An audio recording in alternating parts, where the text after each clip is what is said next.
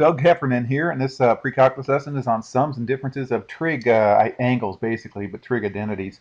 So let's get uh, a couple new formulas you got to get uh, in your memory banks here, but let's uh, verify this identity first. Okay, typically I go from uh, the more complicated side to the easier side, and, and to me, this side looks a little bit a little bit more busy here. So I'm gonna I'm gonna go from right to left here. So I'm going to take that secant of x and change them both to sines and cosines right there. See here, secant of x right here. And then I'm going to multiply this one by cosine over cosine to get a common denominator right there. And I get 1 minus cosine squared, and 1 minus cosine squared is actually sine squared. Okay, and then I wrote sine squared as, here's my sine squared. Sine times sine is sine squared right there. And then notice this is tangent x right here, so it becomes sine tangent of x, and that's what was my goal. Okay, all right, let's uh, sums and differences for identities for, for cosines. Okay, cosine goes like this. When you're adding angles, cosine of x plus y equals cosine x cosine y minus sine x sine y. I have a gimmick here in just a little bit. Cosine x minus y is the same thing except there's a plus right here. Okay, and here's my gimmick for cosines. This one's the easiest one to remember. They go cosine, cosine, it ends in sine, sine, and the middle uh, uh, sign is always opposite what's inside the parentheses. So check this out. Starts with cosine, opposite sign, ends in sine.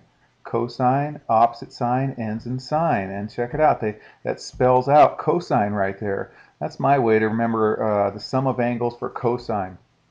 All right, sums and differences for, for sine. It goes like this. Um, uh, the sine of x cosine of y plus, the same sign, cosine y sine of x. Okay, sine x uh, cosine y minus uh, cosine y sine x. Okay, and how I remember this is um, uh, it goes sine cosine, and it's always the same sign in the middle, then it goes cosine sine. So basically, signs go uh, follow the pattern SCSCS uh, sine, cosine, same sign, then cosine, sine. Okay? All right, so um, uh, these ones I, I, don't have a gimmick for. I wished I did. So uh, tangent of x plus y is tan x plus tan y over 1 minus tan x tan y. And then here tan of x minus y is tan x minus tan y over 1 plus tan x tan y. Okay, I tell my students if you can give me a nice gimmick, one that uh, makes it easy to remember, I'll give them some extra credit. So uh, I haven't gotten anything yet. So, boy, I'd, I'd, appreciate it if, if I can get something from you guys. Just email me, jbullock at sanjuan.edu. That'd be great. Uh, so use the sum or difference identities to find the exact values of each trig function. So you cannot use a calculator. Okay, so the cosine of 735. Okay, well you know that goes around the circle uh, a couple of times. It goes around two times because uh, 360 times 2 is 720. So this ends up being 15 degrees more than 720. So it's the same thing as cosine of 15 degrees.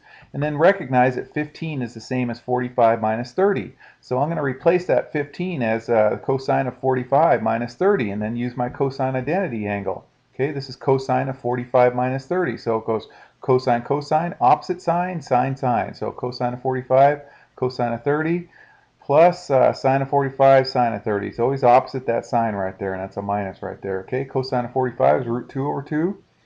Cosine of 30 is root 3 over 2. Those things you got to remember, you guys. And so that's your answer right there. And you're going to see that answer or something very similar to that appear a lot with this stuff, you guys. So, okay. So here's number 2, cosine of 75 degrees. All right, you need to figure out uh, what plus what or what minus what of uh, 30, 60, 90s will give me 45 or 75, and, and that equals the same as cosine of 45 plus 30. Okay, so then use your cosine again. So cosine, cosine minus sine, sine. Okay, that but this one you get uh, root 6 minus root 2 all over 4.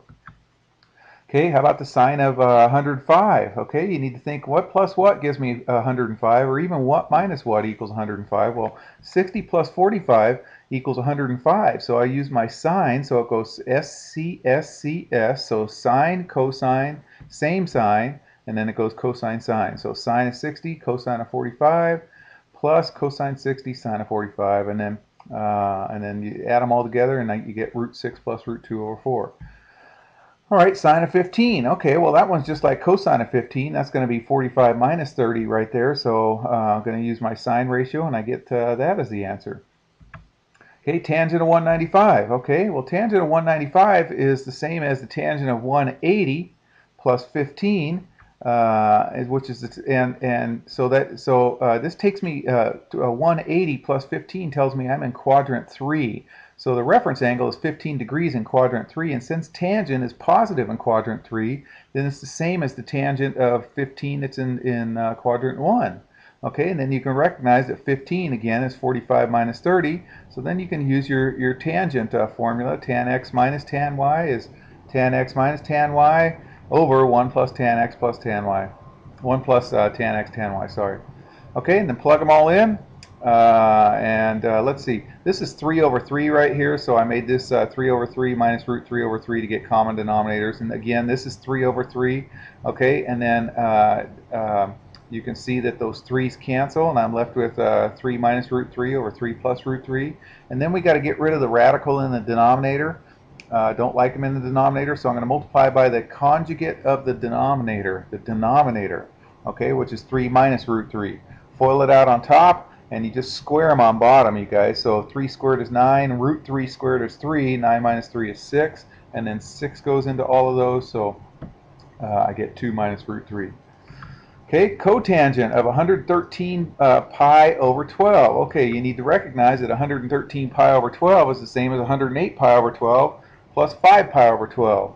Okay, 108 pi over 12 is 9 pi. Well, 9 pi is the same as pi, you guys. 9 pi is, let's see if I can show you here. Um, uh, if I had there and right here, okay, this is, whoops, let me get this down. Whoops, I didn't do it the right way. Sorry. Um,